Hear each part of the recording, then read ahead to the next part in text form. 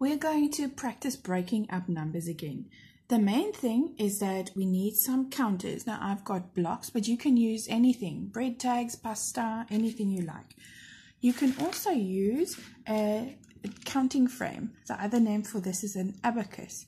So whatever you've got, it doesn't matter. So when we look at the number 11, the main thing is we want to see that there is a group of 10. So for 11, we've got 1, 2, 3, 4, 5, 6, 7, 8, 9, 10. So our group of 10 is always at the top. And after 10 comes 11. So when we draw our number also, we've got 1, 2, 3, 4, 5, 6, 7, 8, 9, 10 at the top.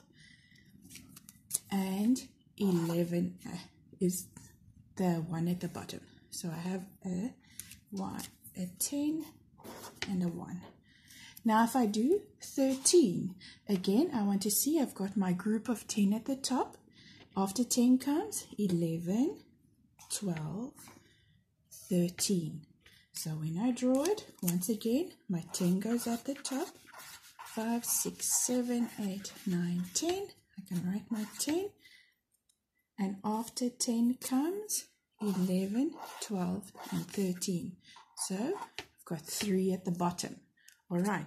When you are using a counting frame like this, you put your 10 at the top and then you count 11, 12, 13. So I can see 10 at the top and 1, 2, 3 at the bottom.